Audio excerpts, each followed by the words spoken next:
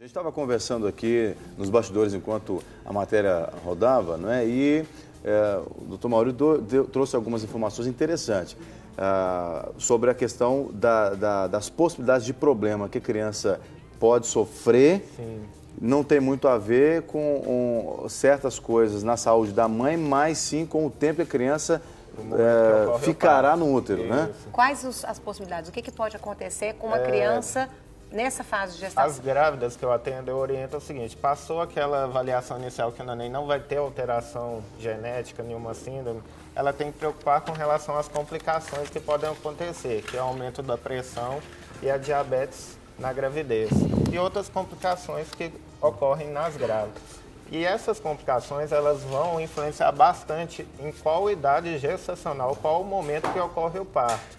Então, se o parto ocorre muito prematuramente, que é o parto pré-termo, dependendo de quantas semanas que, que ocorre esse parto, isso que vai influenciar na evolução do neném. Que o neném prematuro, ele pode ter algumas complicações, como desconforto respiratório, pode dar hemorragia cerebral, pode dar alterações intestinais, e isso está muito relacionado ao momento que ocorre o parto, e esse parto foi influenciado por qual fator? Foi influenciado por uma bolsa que rompeu, um aumento de pressão, uma diabetes, então é primordial, é o momento que ocorre esse parto, com quantas semanas.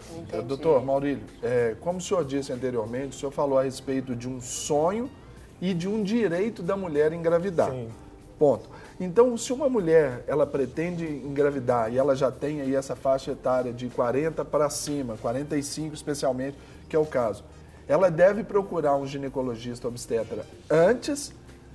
E o pré-natal é igual a de uma mulher mais nova ou é diferente por causa dessas situações? E eu quero acrescentar na pergunta dele uma pergunta que, que seria com relação a, a, ao tipo de método anticoncepcional. É, a mulher que durante anos toma os anticoncepcionais e decide engravidar nessa faixa etária dos 40 e poucos, ela tem mais dificuldade para engravidar do que uma que não tomou anticoncepcional ou, ou que usou o DIU ou outro tipo de método anticoncepcional?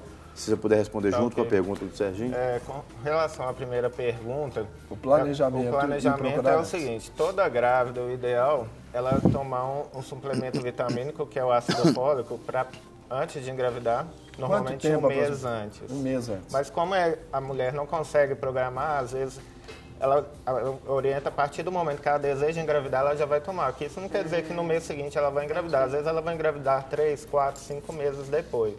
Então ela já vai usando o uso do ácido fólico para prevenir alterações no sistema nervoso, principalmente da coluna. Eu, eu, só eu queria fazer uma, um acréscimo nessa fala sua, porque eu vi uma matéria uma vez onde os médicos orientavam pelo menos um ano antes do ácido fólico ser, ser introduzido para a mãe, porque a criança pode ter uma doença que é a encefalomeningite, alguma coisa assim, se eu, se eu não estou enganado com o nome, que é aquela doença que a criança ela tem a cabeça crescida uhum. e, e, ela não anda, ela não fala, e há até inclusive uma cirurgia que está é, sendo feita... Você está falando, eu acho que é da meningomielocele. Não? É, que é a cirurgia feita dentro do útero. É essa, é essa. Isso está relacionado ao uso do ácido Sim. fólico. As mulheres que, por exemplo, a gestante ela teve um filho com algum, algum problema, um defeito na coluna. Ela vai tomar não, na questão da duração. Às vezes a dosagem a gente tem que aumentar. O ideal é 400 é microgramas por dia antes de engravidar. E ela vai usando esse, esse medicamento até três meses da gestação. O que é importante é saber que a mulher de 40 anos ela tem que procurar um profissional que está habituado com a gestação de alto risco. Porque pode ocorrer essas complicações, ela já está consultando com um profissional que tem experiência nesses casos. E além disso, existem algumas coisas que o profissional, alguns exames, algum acompanhamento mais de perto do profissional que está habituado à gestação de alto risco, que pode oferecer para essa gestante, uhum. que são os rastreamentos. Ela tem que fazer ultrassom da translucência nucal, ela tem que fazer uma avaliação com Doppler, às vezes no início da gravidez, que esses são fatores que, prediz, que predizem, podem prever se ela vai ter aumento de pressão ou se o neném vai ter alguma então, alteração. Então, o pré-natal ele é muito mais cuidadoso, muito mais, mais cuidadoso, minucioso, sim. já desde o seu início, né? Desde né? o início. E a gente tem uns artifícios, tem vários, no acompanhamento, a experiência, a gente vai é, individualizando cada caso. Uhum. Que isso a gestação não é, o acompanhamento não é uma, uma série. E na grávida de 40 anos, às vezes a gente individualiza de, de acordo com os anseios e as necessidades da grávida. E a questão dos métodos anticoncepcionais? A questão dos métodos anticoncepcionais é muito variável te afirmar se a paciente que usa longo tempo e para e consegue engravidar rápido ou que usa tem pouco tempo. É isso que você quer saber.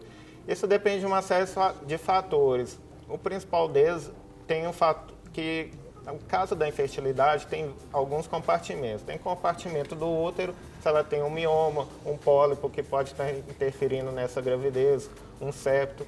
Tem o compartimento do ovário, que, igual eu te falei, está muito relacionado à idade. Às vezes, o paciente que usa anticoncepcional muitos anos, mas ela é jovem, ela consegue engravidar em pouco tempo, uhum. porque ela tem a produção de um óvulo que é fértil, saudável. saudável. Uhum. É diferente de uma paciente que às vezes usa durante pouco tempo e já está com 39, 40, 41 anos. E tem questão da passagem do óvulo para dentro do útero, Sim. que são as tubas uterinas, se ocorre obstrução. Então, a infertilidade que é provocada por doença sexualmente transmissível ou então a endometriose, essa obstrução. Uhum. Então, depende de uma série de fatores que é investigada a partir do momento que ela procura o uhum. médico para saber se ela é fértil ou não. Muito bem. Bom, a gente está fazendo um programa recheado aqui, falando de mães, não é? Mães também implica filhos. E nós queremos trazer agora uma matéria muito legal falando sobre como transportar o bebê, trazendo dicas de seguranças que são importantes, como a cadeirinha do bebê. Então, confere por aí.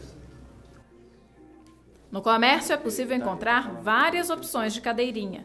Fazer o transporte dos pequenos sem ela mais do que uma infração, é um risco à vida. Uma criança solta no banco traseiro, em qualquer caso de colisão, ela vai ser arremessada ou contra o para-brisa ou vai ser jogada lateralmente. Se abrir a porta no acidente, ela vai ser arremessada para fora do carro.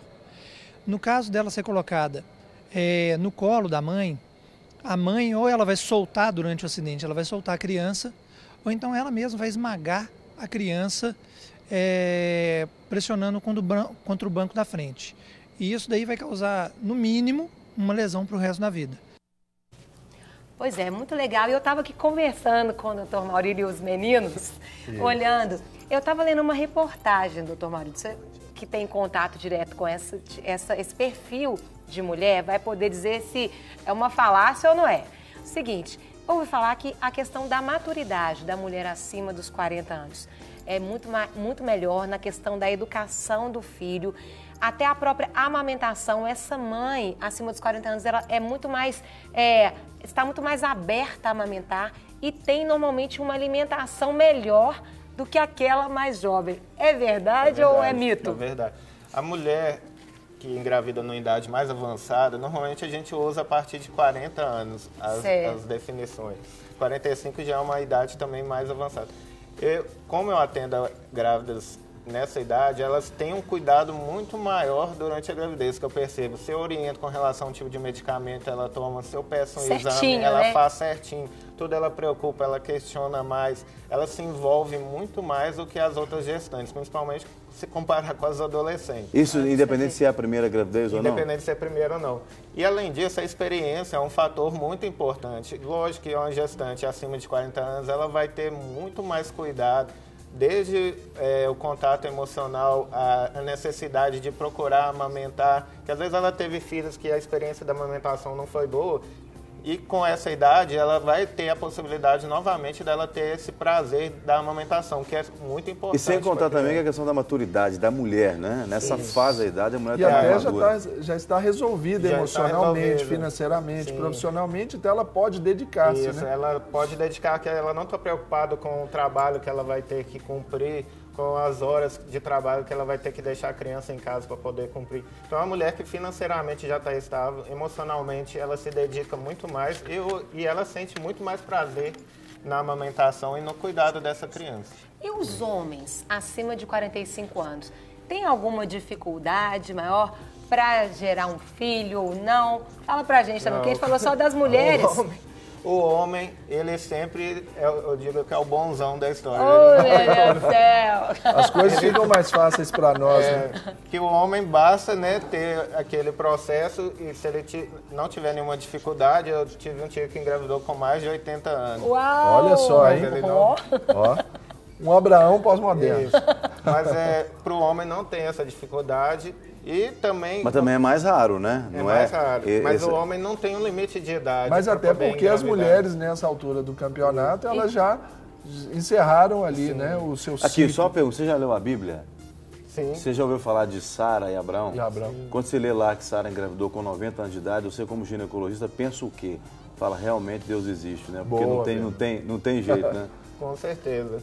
É lógico, é, os, é, o que eu, esse termo bíblico quer dizer que a mulher não tem uma idade para engravidar. Né? Se ela tem o desejo e a vontade, a idade não é o principal fator. Confiou em Deus, Isso